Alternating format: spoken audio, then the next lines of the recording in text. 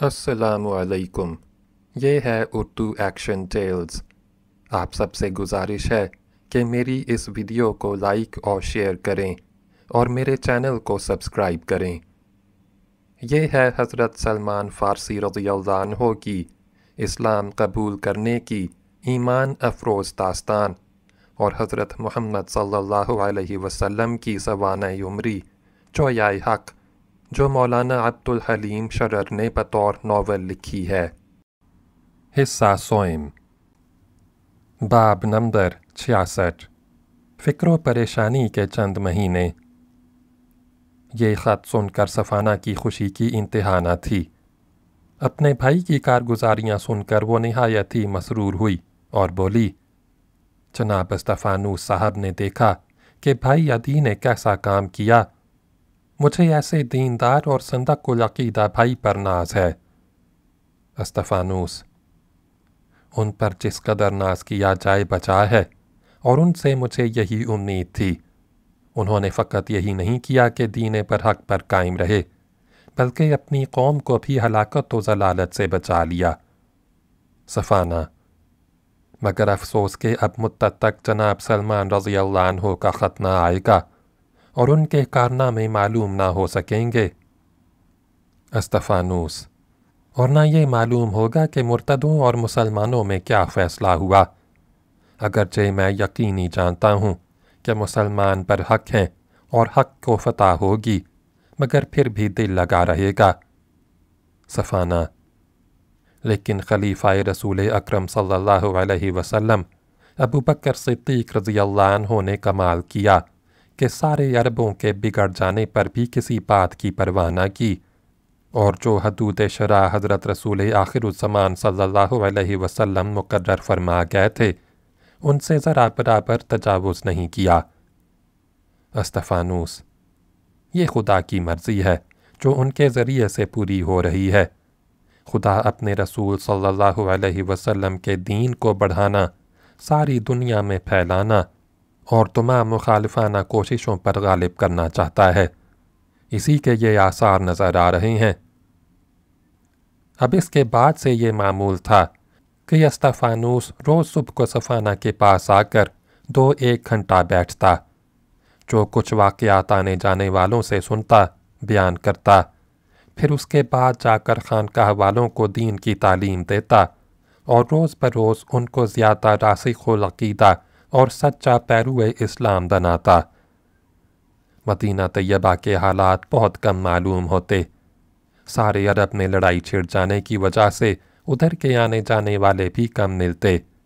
اس لیے کہ تاجرانہ قافلوں کا راستہ رک گیا تھا اور تمام قبائل عرب دنیا کا سارا کاروبار چھوڑ کر جنگ و جدال میں مصروف ہو گئے تھے۔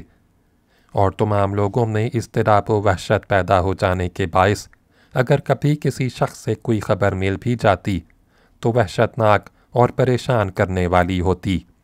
ان فکروں اور پریشانیوں کی وجہ سے استفانوس اور صفانہ نے ان تین چار تائی لوگوں کو، جو جناب سلمان رضی اللہ عنہ کے خطوط لے کر آئے تھے، خبریں لانے کے لیے قرب و جوار کے قبائل میں بھیجا، مگر ان سے بھی کوئی اطمینان بخش بات معلوم نہ ہو سکی۔ اسی لا علمی اور الجھن میں تین مہینے گزر گئے۔ ایک دن استفانوس بسرا سے واپس آ کر اپنی خانقاہ کے پھاٹک میں داخل ہو رہا تھا کہ جنوب کی جانب دور پر ایک شتر سوار دکھائی دیا۔ اسے دیکھ کر روکیا کہ شاید اس سرزمین عرب کے کچھ حالات معلوم ہوں۔ قریباً ڈیڑھ گھنٹے میں یہ شخص قریب آیا اور بجائے اس کے کہ بسرا کا رخ کرے، پھاٹک میں مڑ کر خانقاہ کی طرف چلا۔ اب استفانوس نے اس بات کا اندازہ کرنے کے لیے کہ یہ مسلمان ہے کہ نہیں؟ کہا، السلام علیکم۔ اس نے فوراً جواب دیا، وعلیکم السلام ورحمۃ اللہ وبرکاتہ۔ اور یہ جواب دیتے ہی اونٹ سے کود پڑا اور مصافحہ کر کے بولا، میں نے آپ کو پہچانا نہیں، میں بنی طے کے سواروں میں سے ہوں، جو ہماری محترمہ خاتون صفانہ کے حکم سے فہل کے ہمراہ مدینہ گئے تھے۔ اور آپ کی خدمت میں جناب سلمان رضی اللہ عنہ کا خط لایا ہوں۔ استفانوس نہایت خوش ہو کر، مرحبا مرحبا اب کے اس خط نے بڑا انتظار دکھایا۔ ناکا سوار جو اب اونٹ کی مہار پکڑے پاپیادہ استفانوس کے ساتھ خانقاہ کی طرف جا رہا تھا۔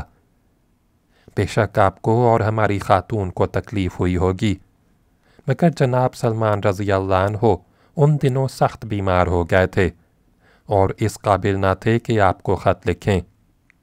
علاوہ بری وہ نہایت ہی سن رسیدہ بزرگ ہیں۔ عمر سو پر سے کم نہ ہوگی۔ ذرا سی بھی بیماری میں صاف اتنا ہو جاتا ہے کہ مہینوں کام کرنے کے قابل نہیں رہتے۔ استفانوس، بے شک ہمیں بھی ان سے کوئی شکایت نہیں۔ ان کی بڑی عنایت ہے کہ باوجود اس ضعف اور اپنے دینی مشاغل کے، وہاں کے مفصل و مشرع حالات لکھ کر ہمارے دلوں کو روشن و مطمئن کر دیا کرتے ہیں۔ خیر، اب میں ان کا خط تو پڑھوں گا۔ پہلے تم بتاؤ کہ تم نے وہاں کیا دیکھا اور مدینہ نبی صلی اللہ علیہ وسلم کو کس حال میں چھوڑا؟ ناکا سوار۔ اب تو بفضل تعالی ہر طرح کا اطمینان ہے۔ جب میں وہاں پہنچا، اس وقت البتہ یہ حالت تھی کہ ہر وقت دھڑکا لگا رہتا تھا کہ مدینہ اب لٹا اور اب لٹا۔ اب تو ساری پریشانیاں دور ہو گئیں اور ہر شخص چین و آرام سے سوتا ہے۔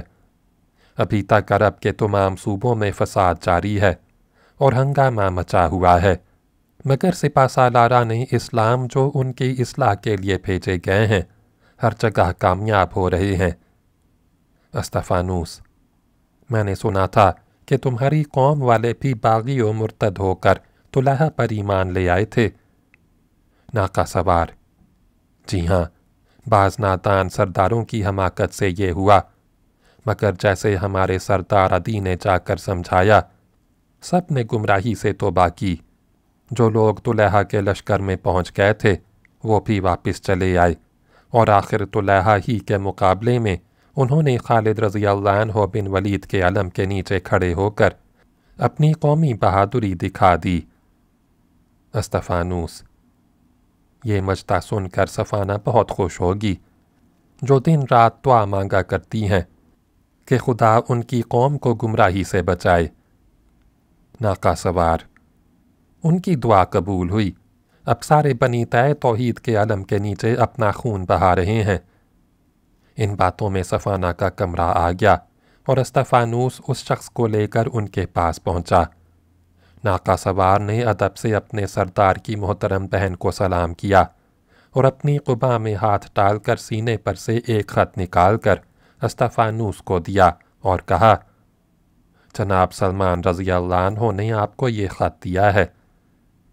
اس کے بعد چند لمحوں تک صفانہ اس سے اپنے قبیلے اور بھائی کے حالات پوچھتی رہی اور جب پوچھ چکی تو اس کو رخصت کر کے استفانوس سے کہا، اب آپ اس خط کو سنائیں۔ باب نمبر سڑسٹھ، جناب سلمان رضی اللہ عنہ کا پچیسواں خط، اگلی ویڈیو میں سنیں۔